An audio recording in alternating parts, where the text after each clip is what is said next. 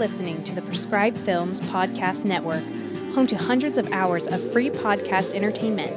The shows on this network all have a common goal providing you with the best discussions about movies and other forms of entertainment media. The PFPN hopes to fill your earholes with audio joy.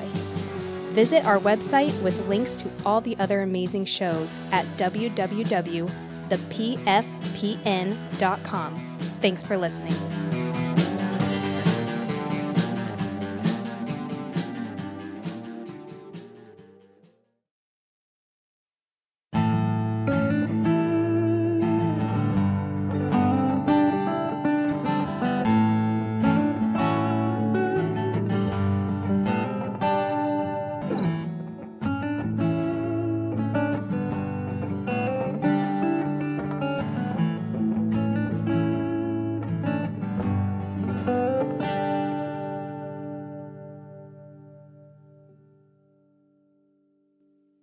Hi, welcome back to the Story By podcast. Thanks for stopping by.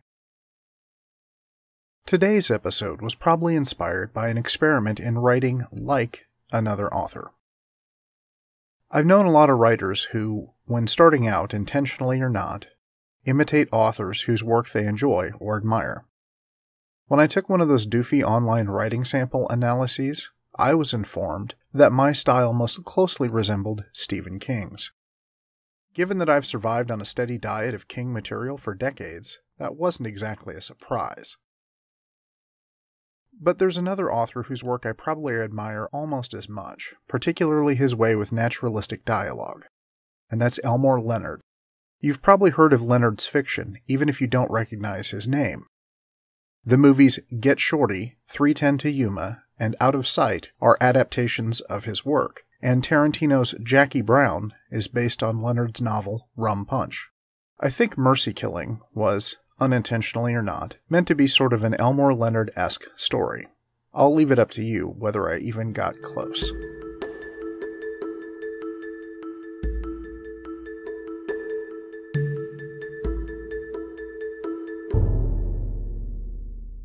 Mercy Killing an RN dressed in pastels and floral, like a resort employee, knocked on the doorframe of Suite 218 and leaned her head in the open doorway. Mrs. Klein, you have a visitor. Mrs. Klein, seated in a chair near the patio door, replied with a sigh, a wave of her hand, and Send him in. The nurse gave the man beside her a smile that suggested he was in for a rough time. He returned a smile that made the nurse wish he wasn't wearing a Roman collar. Good luck, father, she said, and hurried away to gossip with the other staff about the priest, who looked like a movie star. The priest in question leaned in the door and said, Good morning, Mrs. Klein. How are we this morning? I've got cancer. I'm dying. And I'm an atheist. I don't know how you're doing. She continued to stare out the patio at the other residents of the Golden Sunset Retirement Village who wandered about in the courtyard, chatting, playing chess, and trying to remember who they were. May I come in? Mrs. Klein shrugged her bony shoulders, and the young priest stepped into the suite. He approached her quietly until he stood beside her. He looked at Mrs. Klein, who sat curled in the chair, her lower body draped with a knitted afghan, a blue and purple tie dyed kerchief covered her naked skull. The dye color matched the bags under her eyes. May I take a seat? Another shrug. He sat in the chair beside her, which afforded him a view of the residence outside, the tiny woman in the other seat, and the entrance to her room. He watched the seniors outside as he spoke. I'm Father Michael Shea. The tiny woman shrugged again, still avoiding eye contact. I suppose Charles sent you? Your son did make a request that someone from the local parish visit you. He thinks I'm ready to change my heathen ways? Charles wants to make sure that you meet God in a state of grace. She shook her head. See the two old farts at the table out there? The ones playing chess? Shea nodded. The bald guy with the big nose and hairy ears is Henry Klingerman. He plays chess with Louis. The guy with the bad rug is Louis Spinoza. Every day. Henry beats him every time. Shay nodded again. Louis can't play chess to save his life, but he keeps it up to have something to do. It passes the time, Shay said. He has companionship. Mrs. Klein snorted. I think I'd rather sit by myself and rot than let Klingerman beat me at anything. The priest and the old woman sat silently for a while. So you're supposed to help me find Jesus? In a manner of speaking. Mrs. Klein looked at Shay for the first time. You're not a priest, are you? Shay raised an eyebrow. That's cute, Mrs. Klein said. You practice it in the mirror? Shay smiled. What gave me away? You're too cute to be a priest. You look like a young Burt Lancaster with that hair and those teeth. You're built like an acrobat. In addition, you've been here for five minutes and haven't tried to console me or turn me to God. Shay smiled wider, giving her all 1,000 watts. That's not really what did it. Mrs. Klein shook her head. It was the hands. Shay looked at his hands. You've got calluses. I knew a priest in El Salvador whose hands were so rough you could sand wood with them. People who spread the word of God with the sweat of their brow often have calloused hands. Not along the edges like that. And you've got scars on your knuckles. What is it? Taekwondo? Karate? Something where you show off breaking boards and bricks? He snorted. Mrs. Klein sighed, said, So you're here to kill me? Shay raised an eyebrow again. Stop that. It doesn't suit you. And I refuse to be killed by a man who looks ridiculous. Shay sighed, then looked around the room. He saw no decorations on the walls, no knickknacks scattered around, nothing particularly homey anywhere in the room. A pair of framed photographs provided a backdrop for the collection of pill bottles on the bedside table. A Robert B. Parker paperback novel stood tented alongside the photographs. The room itself was painted with soothing colors, hung with lacy curtains, and designed to look as much as possible like a home instead of a room in a care facility. You don't like it here? Mrs. Klein turned to watch Spinoza and Klingerman again. Would you? I've lived in worse places. After a moment, he added, But I suppose a designer prison cell is still a prison cell. They sat for a while. Then Shay broke the silence with, How long did they give you? Six months, maybe a year, if I keep taking the drugs and letting them microwave me some more. She touched the kerchief that covered her head.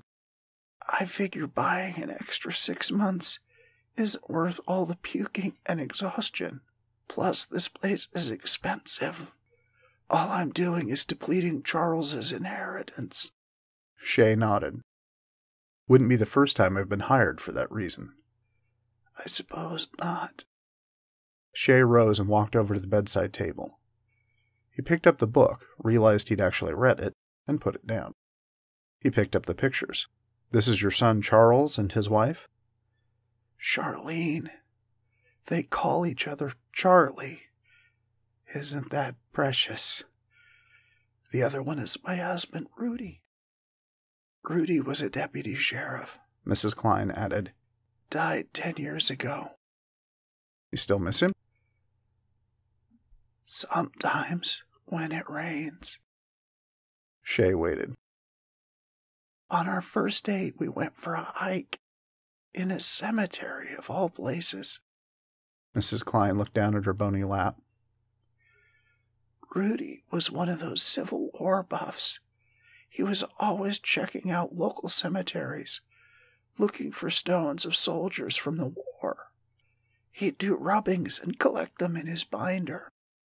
Anyway, we were out in this cemetery and it started to rain really hard. So we ducked under the front of this mausoleum to keep dry. It rained for hours and we were clear on the opposite side of the cemetery from his car. We were huddled up, sitting on this kind of stone bench, and we got to talking. I found out that he was involved in this Civil War reenactors group. You know, the guys that get dressed up and fight the Battle of Hoochie Coochie Creek or some such. Shay smiled, watching Mrs. Klein drift back to that rainy day. I told him I thought my great, great something or other had actually fought at that battle, and his eyes lit up like a kid in a candy store. Mrs. Klein paused and looked up at Shay. Do they still have candy stores anymore? Just a place where you can go in and buy candy by the piece? Shay shrugged. Some malls have them, I guess. Mrs. Klein snorted. Malls. After a moment, she said, Where was I? I think you were about to fall in love with your husband. She smiled at him and said, You're a smart ass. Shay nodded. Anyway, he was talking and got all excited about my great, great whatever, and he kept yapping. And I just up and kissed him. You trying to shut him up? A sly grin slid across Mrs. Klein's face. Maybe, but it was worth it. He was a great kisser. Shay looked at the picture of the stern man with broad shoulders, an Old West mustache, and a leathery face. He tried to imagine this guy and the birdy little woman in the armchair making out in a cemetery in a downpour. He make you happy? Almost fifty years. All the happiness only produced one child? Mrs. Klein nodded. When I was a girl, I had an accident horseback riding. I got thrown and it broke my leg and pelvis. Supposedly, that made it hard for me to stay pregnant. One hand shifted absently over her lower abdomen. I know birthing Charles was about the hardest thing I'd ever done. Hours and hours in labor. Then they finally decided to do a C section. Shay walked back toward his chair, sat, and placed a hand on hers. I'm sorry. It's okay. It was almost 40 years ago. Reflexively, her hand folded around his. Shay was amazed by the softness of her hand and the weakness of her grip. You talked to all your. Mrs. Klein paused, searching for a word. What do you call them? Victims? I usually think of them as targets. You talk to all your targets like this? He shook his head. Just taking pity on an old woman? Shay shook his head again. I've been watching you for a while, trying to learn your routine. My routine consists of getting up, sitting here, going to bed, some pills, a little puking, and a few other unpleasantries, and my day is complete. That inactivity will kill you as surely as I could. Mrs. Klein shrugged. So I'm practically dead already. Makes your job easier. Eh, but why was I hired? To kill me, of course. Sure, but why? Your son's a lawyer. His wife's a lawyer. They have no dependents. Well, except for a pair of expensive show dogs. They're loaded with money, but they pinch pennies tight enough to make Lincoln scream like a girl. Shay glanced down at their hands. You're in good financial shape, but after all is said and done, they're going to inherit chump change. Add in what it costs to hire me, and it's not worth the investment. I don't exactly come cheap. Mrs. Klein gave him a fading smile. That's good. I'd hate to be killed by a cheap thug. Shay cocked his head and scrutinized her face. She avoided his eyes.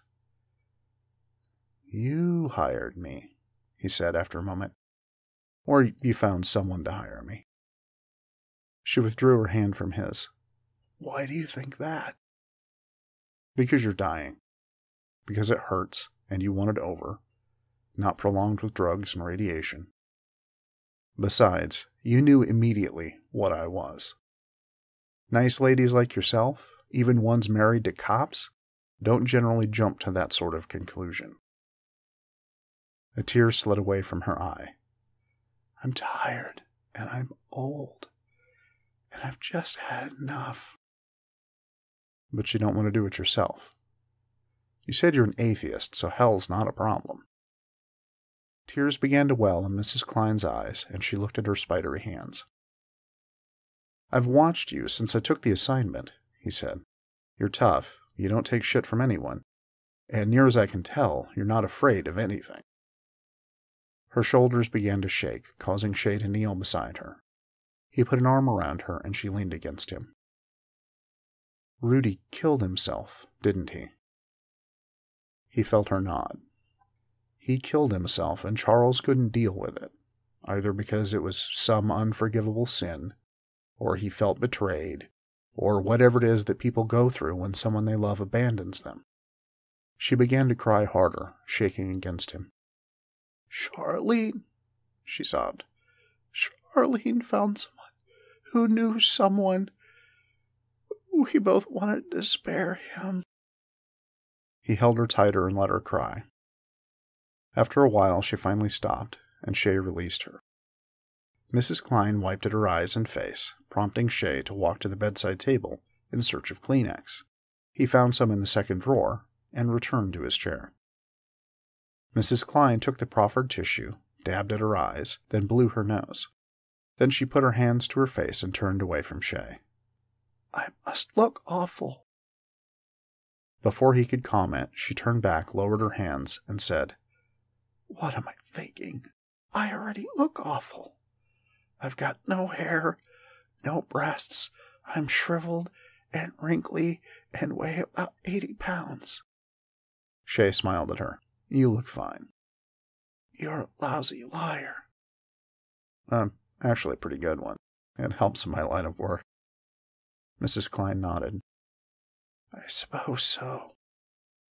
He handed her another tissue and she dabbed at her eyes again. So, you like killing people or what? Shay shrugged. I'm just good at it. Chefs make gourmet meals, carpenters build things. You kill people. Shay nodded. Mrs. Klein glanced over at the Parker novel. In that book, this hitman tries to kill Spenser, but he survives to capture the guy. Anything like that ever happened to you? Shay shook his head. Always get your man. Or woman, he added. Mrs. Klein smiled. Get many women? Some. So now what? Shay shrugged. I've received my usual half payment, which obligates me to complete the assignment in order to receive the other half. That's how it works? It does for me. So when I'm dead, you get the rest of the money. I'm in no hurry. Mrs. Klein cocked her head. That's supposed to scare me? You're gonna get me someday, and I'll never know when? Shay shook his head. I don't usually get a chance to sit and talk with anyone. I suppose not, Mrs. Klein said. You go out much? The pickings are pretty slim around here. No, I mean just leave for an afternoon. Go shopping, out to a movie, that sort of thing. Maybe when your son comes to visit. Charles lives three hours away. He visits at Christmas, Mother's Day, and on my birthday. I live even farther away, Shay replied. But if you need an excuse to get out once in a while, I'll come by when I can. Why? Shay shrugged. Because you have maybe six months left to enjoy living.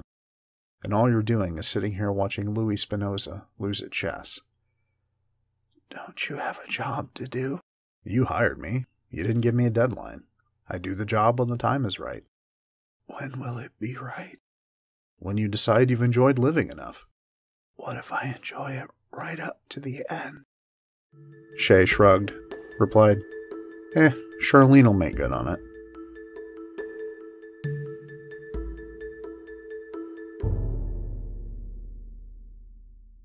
I wondered after writing this piece if there was any chance I could sell the idea of a buddy comedy involving a hitman and a senior citizen. Eh, maybe if it was the 80s. Anyway, I hope you enjoyed the story, and if you've got a relative stored away in a care home somewhere, maybe she or he wouldn't mind a visit. On that cheerful note, I'll close out this episode of the Story by podcast. As always, thanks for stopping by. I really appreciate it. Story by Podcast is a production of Fiddling Around Productions LLC, copyright 2018. Theme music is provided by The High Crest, www.thehighcrest.com, and used with permission. This episode included the song Monkoto, incompetech.com, edited by Lewayne L. White, licensed under Creative Commons by Attribution 3.0 license.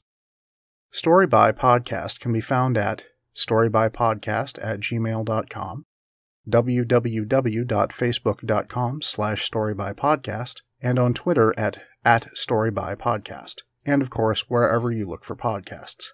Story by Podcast is also a member of the Prescribed Films Podcast Network. Check out their other shows at thepfpn.com.